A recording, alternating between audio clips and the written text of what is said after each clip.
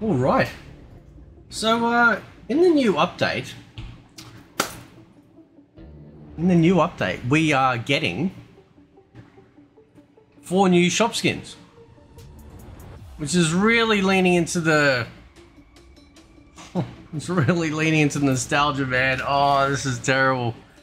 Like, like not bad, like not in a bad way. It's just ugh. anyway. So we'll start off with Deception, right? So this is what the this is over on uh, Mortal Kombat Warehouse, right? So we are going to click on. So apparently we are getting a Sindel skin, right? Which I'm assuming is going to be like obviously like the main one, the main Sindel skin. However, we've seen what they've done with Li Mei, right? So you know, don't get your hopes up. You know what I mean, right? Um, so it could be good. Listen, if they put that out looking like that, I will fap live on screen. No, I'm just, I'm just, I'm just kidding. Right, I'm not going to do that. Also, as a follow-up, we also get an actual Shao Kahn skin or General Shao, right? Now, here's the interesting part. Shao Kahn wields a hammer. Are they going to stick a skin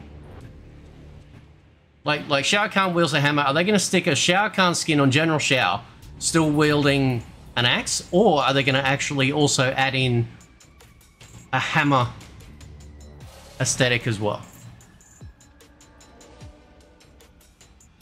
Don't know, right?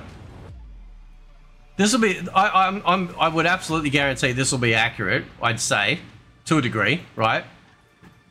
And then under Deadly Alliance, now this this this this really hits, right? Because I tell you what, right? We're getting we're getting a Shang Tsung render. Oh, sorry, not render. We're getting a Shang Tsung um, skin from Deadly Alliance, which is going to be that one, which is one of the best ones I've seen for Shang Tsung outside of possibly Mortal Kombat 1's actually. Mortal Kombat 1's uh, Shang Tsung skin is actually pretty good.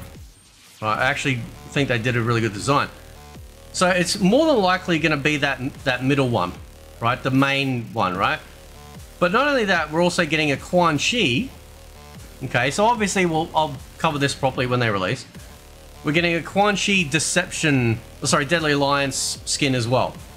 Now, when I, I have no doubt we are not getting the MK4 version. It, I more than likely will be getting that middle one. Right? Which is pretty cool. Right, so that's Deadly Alliance, Shang Tsung, Quan Chi, Deception, Shao Kahn, and Sindel skins that are being added, no doubt, to the shop. Oh, man, that's just... I mean, we'll see how they look. We'll see how they look in game, right? See what they see what the quality is.